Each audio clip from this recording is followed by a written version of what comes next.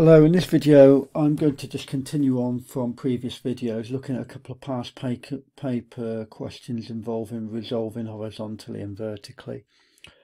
Uh, they're both quite old past paper questions from Edexcel. This one's from 2005. It was the first question on the paper, quite straightforward because there's only three forces involved.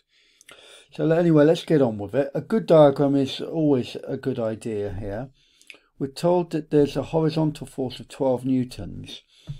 And in this question, basically, it's a case of getting the direct, get putting the other forces in and um, getting the diagram right and all the rest of it. So we've got 12 newton force going this way.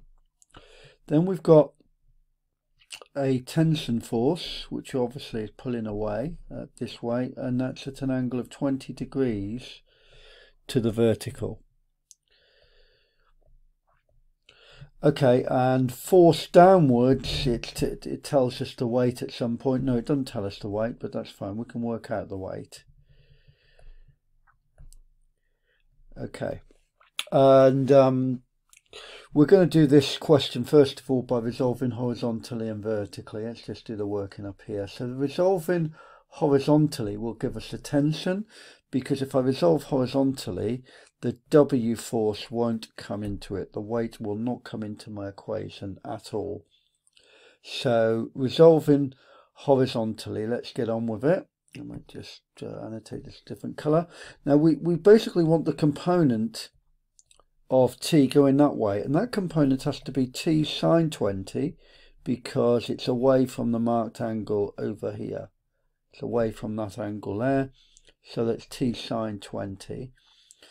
So that's T sine 20, and that must be counteract with the 12 Newton force, as it were. So let's write that down.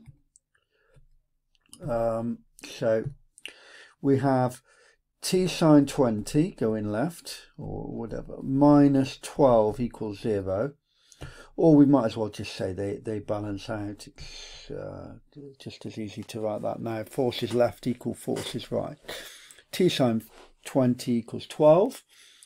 So then that gives us t is equal to 12 divided by sine 20. Dead easy. So that comes to 35.1 newtons.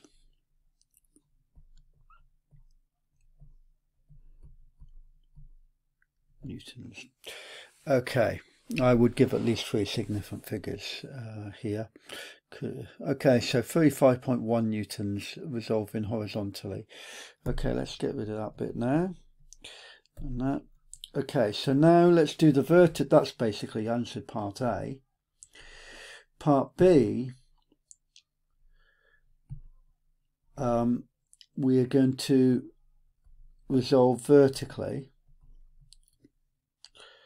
And if I resolve vertically, Again, we're looking at the component here of t. And that's got to be t cos 20 because it's right next to the angle I've marked. And that's going to counteract with the w that I've just put on. So let's uh, that's t cos 20 going upwards. It's going to balance with the w going downwards. So that's t cos 20 minus w equals 0 or just equals w. But we already know what t is, so w is equal to t cos 20 is equal to 35.1, which hopefully I got st stored properly on my calculator, uh, times cos 20, and that gets me to 33.0 newtons. That's it. Very easy marks. I suspect, this is from 2005, I suspect nowadays the mark allocation will be a little bit less generous than that. That seems to, although it was the first question on the paper, I think if anything have got harder over the last 15 years or so. Um, now, what else would I say uh, about this? Oh yeah, I just wanted to mention at this point that um, I see some students, maybe because they've learned uh, other methods in physics or whatever, just go to what's called a free force diagram. I don't normally do it this way, partly because, not because it's not a good method on this question, it's just that um, often it's applied badly and inappropriately in other questions. But what you can do in this one, if we were to draw this more to scale, actually, it'd probably be easier if this were drawn. If this were drawn to scale, that would be more like 12 newtons there. And um, what you'd do if you did a free force diagram is to say, right, the 12 newton force is going in that direction, like that. We've got W going downwards. And we've got uh, T going upwards. So it's almost like a free force equilibrium because we've got the resultant of free forces. One force being the T, the other force being the, the, the 12, sorry, the other force being the W, and the other force being the T. And of course, from that we can actually get the we can get W and T, T pretty quickly just from normal trigonometry, because we can say that um, W over 12 uh, equals to uh, W over 12 equals to tan 20. No, 12 over W equals tan 20.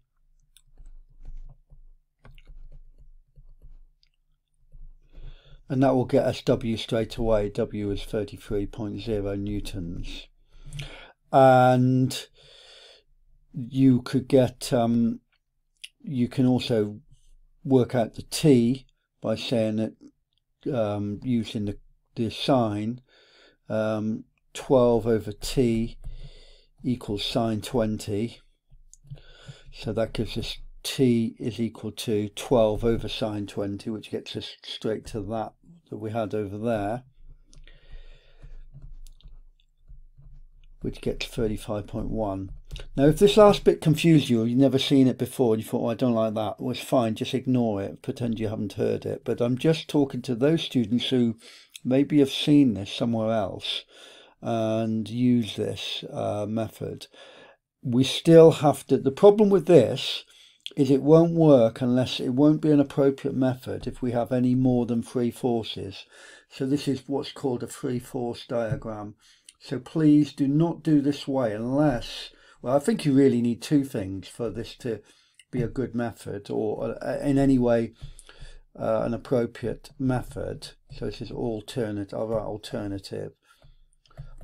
And you can ignore this i think. I don't think you, for mechanics maybe physics is a different thing but for mechanics i don't think you need this method. Um, it's more of a special case that works in a few cases. So free force diagram. And what we really need is first of all there to only be three forces. So four forces forget it. You're going to have to use this resolving method then and the other thing you probably makes it a decent method or an appropriate method is that with the we've got a right angle between two of the forces, so that the free force diagram is right angled rather than using the sine or cosine rule. That those two things together make this probably an okay method. I still, to be honest, often use the resolving anyway, but I just did that because I often see students do that.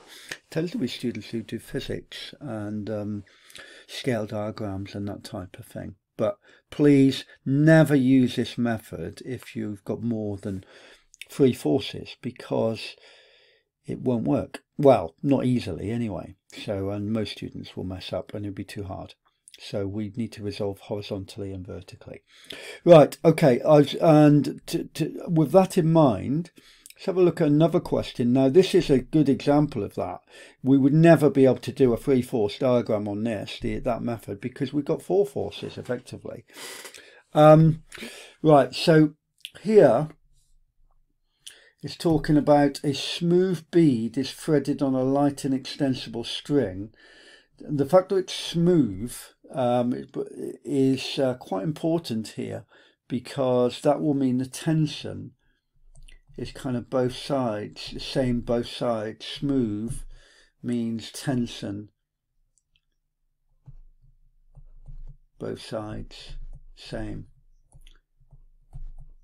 They do expect you to understand a few modelling considerations, state how you've used the fact that it's smooth would mean the tension's both sides. But remember, we've got, notice we've got four forces here effectively, because the tension there is, twi is occurring twice um, pulling both ways. So let's do that by resolving horizontally and vertically as well. Let's do a diagram. Change your colour back to blue. So here we've got 6 Newton force. We've got tension going upwards. We've got a weight going downwards, which again is one of the things we're being asked to find. And we've got a tension going here. Oop. Oop. It's just struggling to draw a straight line at the moment. Tension going there, where this angle is alpha. Probably want to work that alpha out first of all. Well, it tells us tan alpha equals 3 over 4. You can use your calculator if you want, but at this point we can see it's a 3, 4, 3, 4, 5 triangle.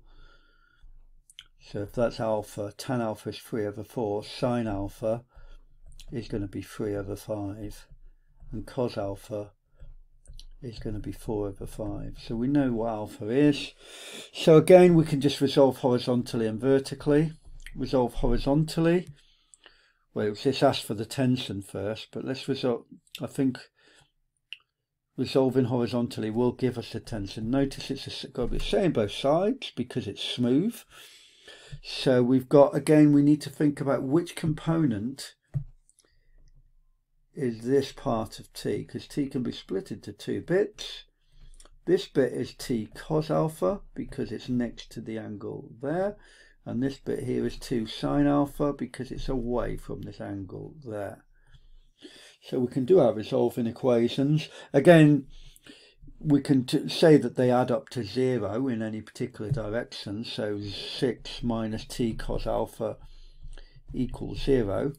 Being honest, I often um, just skip to forces one way must be equal forces the other, forces left must be equal forces right. So we have 2 cos alpha t cos, t cos alpha equals to 6. So that gives me, uh, t, we know that cos alpha is equal to 3 over 5, uh, 4 over 5. So t times 4 over 5 equals 6. So that gives me t equals 7.5 newtons. And then resolving vertically, we've got um, the we've actually got two bits here. We've got don't forget the the t that's already there because we've got the t sine alpha upwards that bit. I'll just rub it I'll rub that bit off now so we can see that t sine alpha. But we've also got that's the component of the t that's here okay? But we've also still got we've also got this t here it's going upwards. So That's plus t. And that equals to w. So that's pretty, it's a pretty straightforward question as well. And as I say, with the last question, I doubt if such a, it's certainly possible as a question. It would probably be the first question on your A-level paper for the mechanics part. I suspect it'd be a lower allocation. I think we'd probably be looking at more like five than we would 7 these days. But anyway, t sine alpha would be, um, that's t, which is 7.5, times sine alpha, which is equal to 3 over 5, plus t, which is 7.5, equals to w.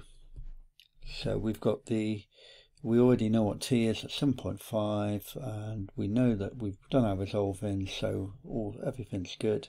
We've got w equals to that's 2.5 that's going to uh, 1.5 4.5 plus 7.5 which is equal to uh, 12 newtons.